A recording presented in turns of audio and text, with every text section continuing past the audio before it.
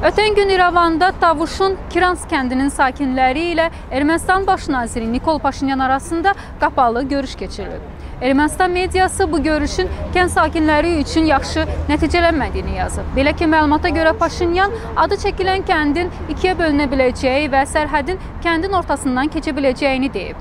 Bundan qəzəblənən kənd sakinlərindən bir qismi evlərini yandıracaqlarını, digərləri isə barikada quracaqlarını bildiriblər. Ümumiyyətlə son vaxtlar delimitasiya prosesi ilə bağlı ermənilər əvvəl Tavuşda, daha sonra isə İrəvanda etiraz aksiyaları keçirməyə başlayıblar.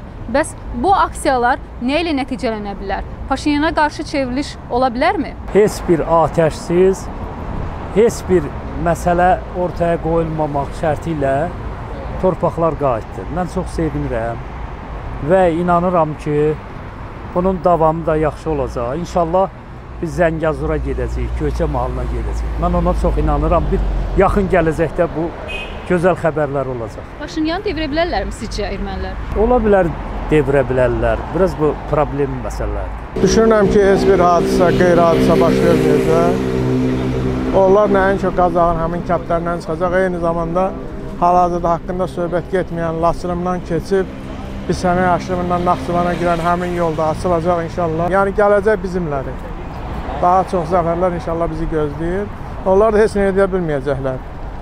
E, çox, necə deyərlər, artıq əski hərəkət eləsələr, onların artıq bir dövlət kimi Türk torpaqlarının arasında yerləşməsi nə yəqin ki, son qoyulacaq, aradan qalxacaqlar bir dəfəlik.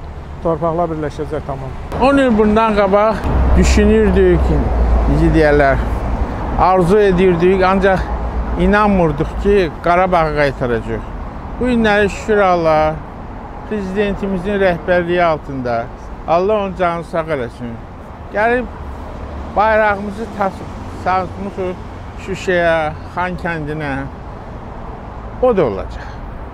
Onlar da qaytarılacaq. Onun prezidentimizin bir sözü var. Mən o xoşuma gəldi. Dedi, mən bilirəm nə vaxt, necə, harda. Hal-hazırda Paşinyan hamını ödəyir. Hamını ödəyir. İstəyir Rusiyanı, istəyir bizi, istəyir xarici qüvvələri ki, hansı ki onu qızışdırırlar.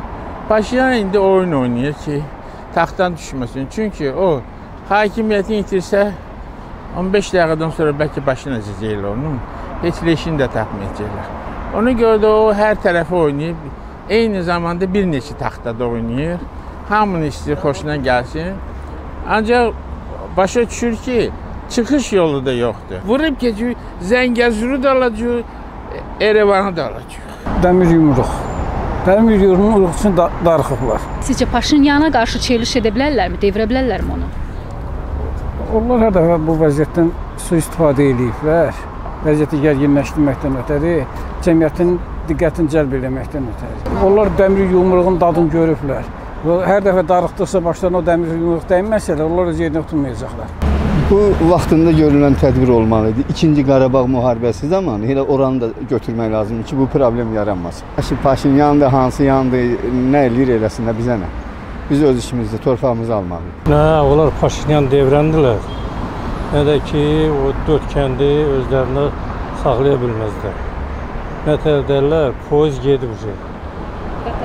Əlləşsə də, vuruşsa da ermənilər heç nə eləyə bilməyəcəklər, mümkün deyil. Bizcə bizim prezidentin dediyi sözlər ki var, ona fikir verin. Nə deyirsə düz deyir, sök tardı. Düzü nə ilə nəticələnə bilər, artıq onlar görüblər. Yəni bütün nəticəni görüblər. E, yəni mən siyasətçi deyiləm, amma onu bir də onu deyə bilərəm ki, o birinci gündən yəni Ermənistan öz siyasətini düz qurmur.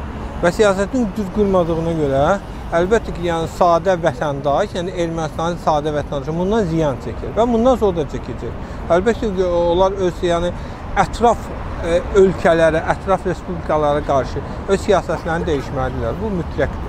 Paşinyanı devirə bilərlərmi sizcə? Nəsə olacaq? Ya yaxşı bir şey olacaq.